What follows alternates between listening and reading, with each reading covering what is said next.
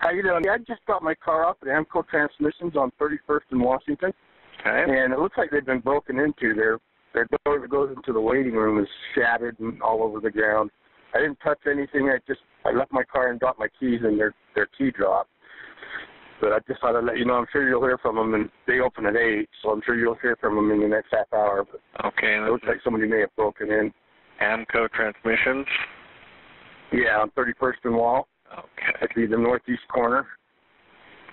All right. What's the phone number for you? And you didn't see anybody around the building. No, there's several Okay. cars parked there. Look like they're, you know, waiting to be serviced. But I kind of looked in there and didn't see, didn't look like they'd taken anything. My son suggested it might even have been the wind blowing something into it, but I don't know. Looked like there was something on the floor, like something had been thrown through it or something. But like I said, I didn't want to touch anything and go in or do Right. anything like that. So I tried. It's on their card, but obviously it just goes to their their office, so Right. Could I get your I name? get a hold of anybody. All right. I will go ahead and pass it along. Have officers go check them out. All right. All righty, Great. Thank you so much. you bet. Bye.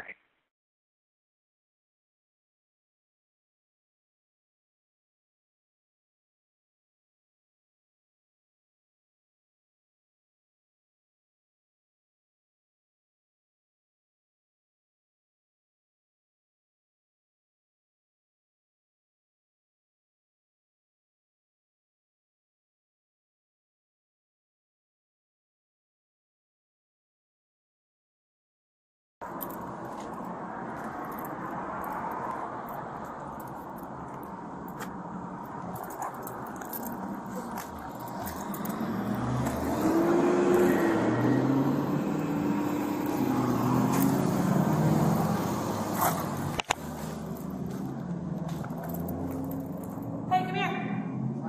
Come here. What are you doing?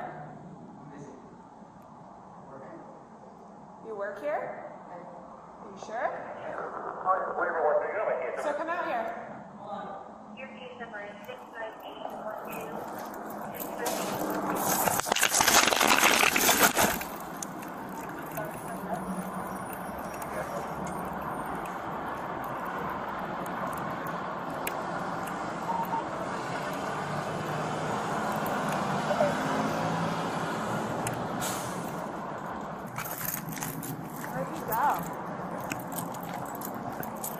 Come here. Pull your hands out. Show me your hands. Show me your hands. Show me your hands! Shots fired, shots fired. Show, show me your hands.